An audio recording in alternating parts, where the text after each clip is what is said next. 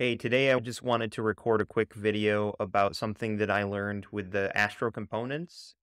So here you'll see we're on the developer portfolio. I've been changing around how it looks a little bit to make it look more professional and presentable and stuff. And we're on the apps page, so I'm going to just populate this with applications that I use on a daily basis as a developer. Maybe I'll include technologies that I'm used to, like coding languages and frameworks and stuff like that. But you'll see here, I'm using a component called app cards, and it just renders a single div.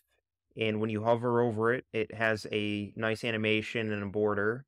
But if we go to the projects tab, and this is where I have projects that I've worked on that I want to feature for people to see, you'll notice the layout is a little different. And I have an icon for the framework or the language on the right hand side, and it's in its own kind of separate div. And when I hover over them, they invert and so it goes from black to white.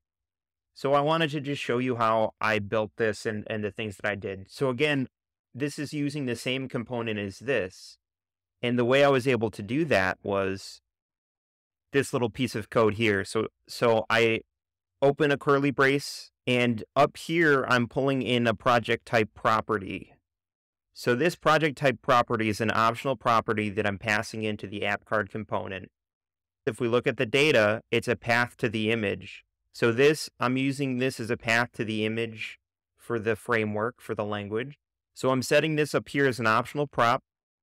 I'm saying if prop types exist, render this div with an image inside of it. So what happens is if I comment this out, you'll see that the project page works as expected. It works just like it did before.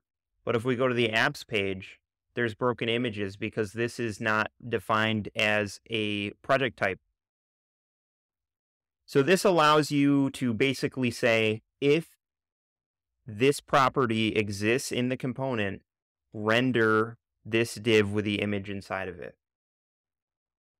So this way it allows me to use the same component. I don't have to duplicate the component. I don't have to make a separate component. I don't have to nest layers within the component.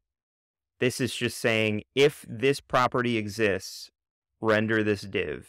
And then let me show you really quick where I do the image inversion. So here, all this code is going to be linked below. I'll link the repository to the GitHub below.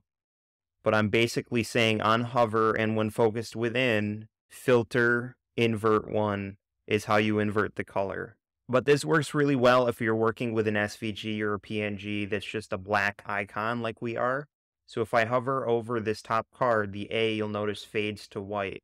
It inverts and then I let go and it goes back. If you like this content, if you're interested in Astro and interested in building projects in the future, subscribe to the channel, like the video. Thank you so much. Have a great day.